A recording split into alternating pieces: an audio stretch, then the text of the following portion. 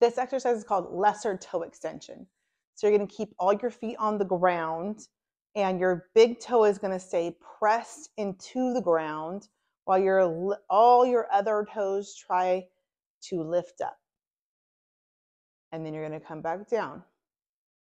So big toe stays on the ground and you're going to try to lift your other toes up into the air